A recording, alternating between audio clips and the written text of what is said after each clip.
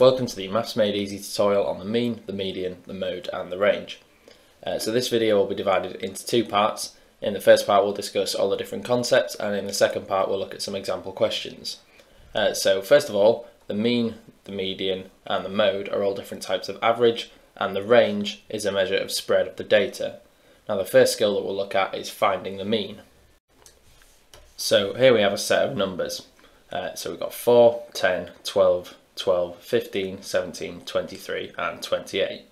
So to find the mean, uh, the equation we use is the mean is equal to the sum of the items. So we add them all up and then we divide by the number of items. Uh, so the sum of the items in this case is just the sum of all the different numbers and the number of items is uh, the number of numbers that we have. So our calculation is therefore 4 plus 10 plus 12 plus 12 plus 15 plus 17 plus 23 plus 28 uh, divided by the number of items, that's the number of numbers, and we have 1, 2, 3, 4, 5, 6, 7, 8. So if you simplify that, that becomes 121 divided by 8, uh, which gives us a value of 15.125 for the mean. So the main advantage of using the mean uh, is that it uses all of the data. Uh, so we used every number here in our calculation. Uh, but the main disadvantage is that it's highly affected by outliers. Uh, so for instance, if we had the number 45 on the end of our set here, and we included this in the value, uh, in the calculation, sorry, then this is likely to increase the value quite drastically. Uh, so the next skill that we'll look at is finding the median. Uh, now the median is also referred to as the middle value and that's because that's exactly what it is. Uh, so if we look at the same set of numbers as before, sorry, where is the middle point uh, in this set of numbers? Uh, well there's eight numbers, so the middle point, uh, if we divide the set so that there's four numbers on each side, we can see that the middle point is between the 12, the value 12 and the value 15. So in other words, it's between the fourth and the fifth value. So whenever you have an even number of uh, numbers in your set, you'll always find a median value that is between two other values. Uh, so in this case, the way we calculate the median is we take the average of the fourth and the fifth value. So we add 12 plus 15 and we divide them by 2. Uh, so that's 27 divided by 2 and that is 13.5. So the median is 13.5.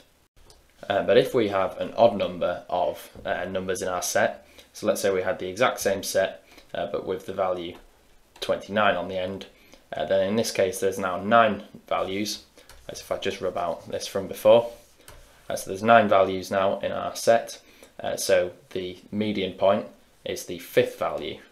so as you can see, there are four values either side now, so you just take the fifth value. so anytime there's an odd number of numbers in the set, uh, the median will always be one of the numbers in the set. So there's a formula that we can use to find out where the median lies in the list of numbers, uh, and that formula is n plus 1 over 2.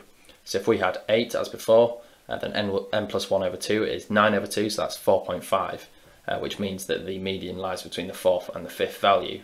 And then if we have 9, as we do here, then the calculation becomes 9 plus 1 over 2, uh, which is 10 over 2, which is 5, and as you can see that gives us the uh, fifth value for the median.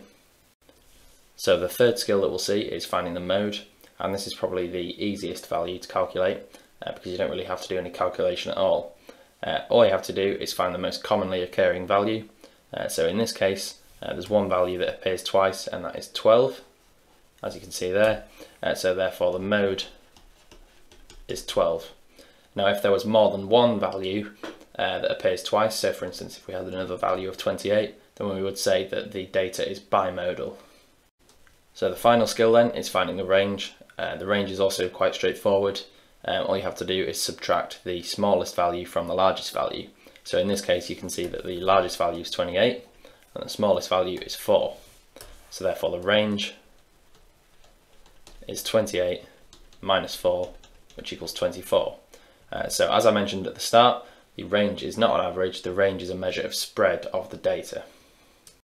Finding the mean, the median, the mode and the range is an essential skill in statistics, So if you want to get some practice, you can do so with our online exam.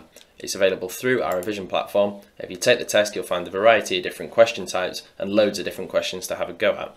You get instant feedback on all of it, uh, so you can keep track of your progress and find out where you need to improve. If you're interested and you want to take the test, then you can click the link below and it will take you straight there.